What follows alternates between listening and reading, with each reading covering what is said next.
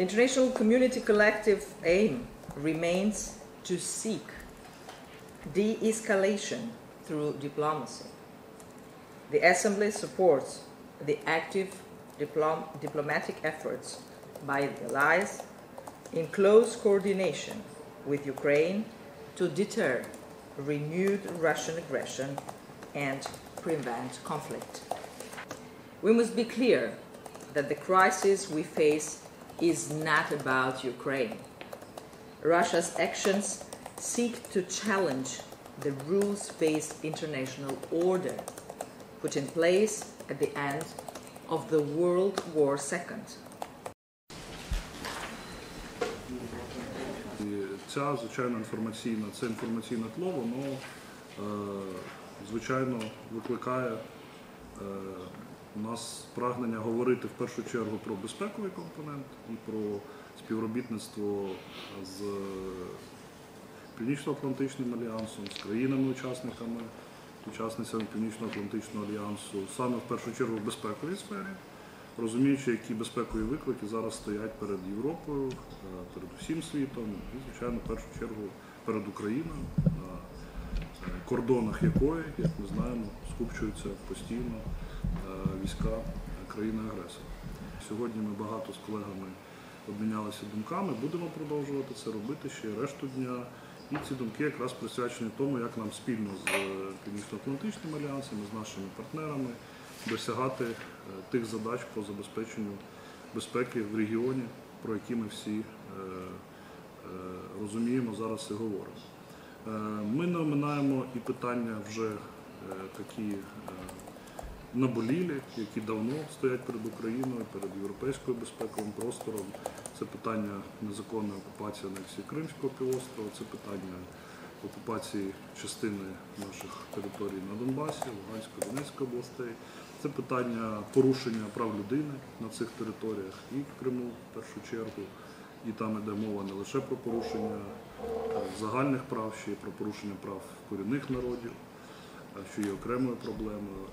Е, І, звичайно, це та ситуація, яка склалася на Донбасі, включаючи паспортизацію російськими паспортами населення, включаючи порушення е, соціальних різних там, гарантій для людей і фактично встановлення дуже несприятливого для людей окупаційного режиму.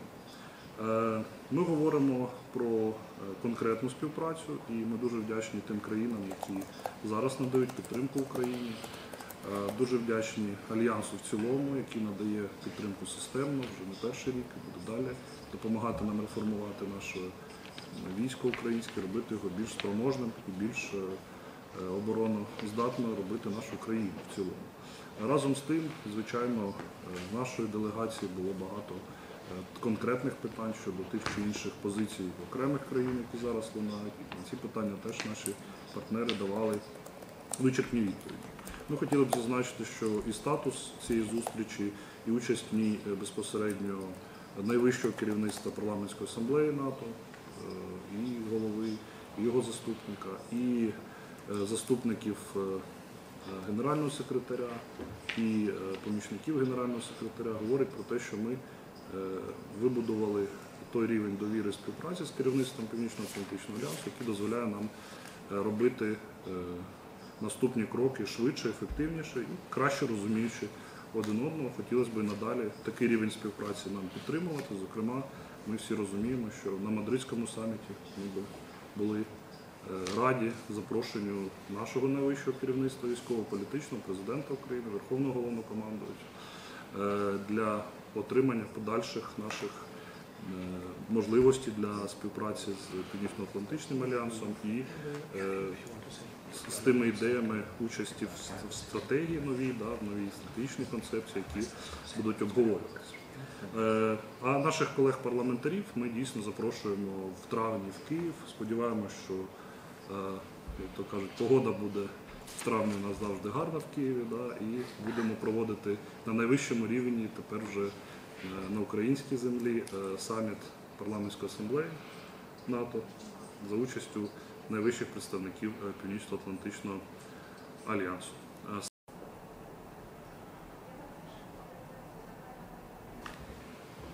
Good afternoon, everybody. let's just, just uh, let me thank my colleagues uh, from the national delegation of the uh, NATO Parliamentary Assembly for electing me uh, a co-chair of uh, the Ukraine NATO Interparliamentary Council.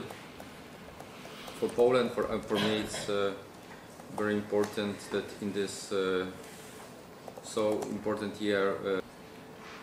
Let me stress that our Ukraine Interparliamentary Council is united in our strong condemnation on Russia's provocative, reckless, and justified military buildup on the eastern borders of Ukraine.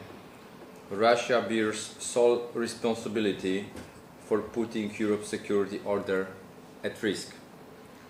Since its uh, illegal and forcible annexation of Crimea in 2014, Russia has consolidated and progressively stepped up its aggression and hybrid campaign against, against Ukraine. And uh, today it's ama- amazing 100,000 troops on, the, on Ukraine's borders. We will never recognize Russia's annexation of Crimea. Crimea is Ukraine and we are determined to support our governments in deterring any further aggression against Ukraine. We reject Russia's narrative of exclusive spheres of influence, and we are able to determine to uphold the core principle that all states have the right to freely choose their own path and security arrangements.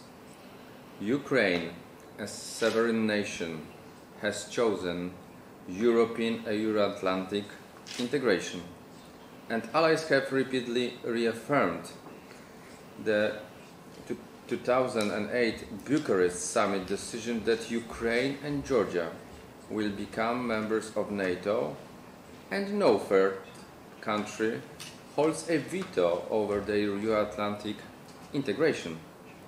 The NATO Parliamentary Assembly has been clear in its support for the NATO's open door and Ukraine's Euro-Atlantic membership perspective.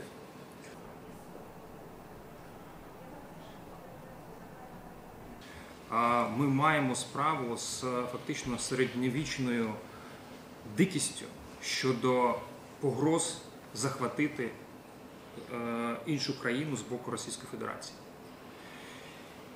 І саме єдність європейських націй, саме єдність альянсу є запорукою того, що Російська Федерація все ж таки піде на деескалацію. Дуже важливо посилювати міцність української армії. Ми дуже вдячні країнам альянсу, які одна за одною надають зброю в такий складний час. Все одно на сьогоднішній день залишається дуже високою вирогідність вторгнення Російської Федерації до України. Їхнє рішення ірраціональне, і як вже було сказано, вони хочуть поділити світ на зони впливу, але це неможливо вже в 21 столітті. Є, на жаль, деякі ем, проблеми в, з деякими країнами. Я давайте буду називати все ж таки речі своїми іменами. І дуже дивує сьогодні позиція, зокрема Германії, яка блокує Німеччина, да, яка блокує е, поставки е, навіть з Естонії, з третьої країни до України е, озброєння в такий складний час. Але я е, думаю, що все ж таки це питання також буде вирішено е, в найближчим часом. Тому що однією з цілей Російської Федерації і Путіна, зокрема, якраз таки є посіяти паніку серед українців. Не, не так давно, е, декілька днів тому, я разом з британськими депутатами був на лінії зіткнення, і якраз таки у них також було питання е, нашого спокою, на що в мене є абсолютно чітке, чітка відповідь. Ми вже нам набридло боятися. Ми у війні восьмий рік і ми готові до будь-якого сценарію. Якщо Путін думає, що він прийде і легко захватить Україну, то цього не буде. тому що супротив буде всього українського суспільства. І не тільки українського суспільства, але й всього західного світу.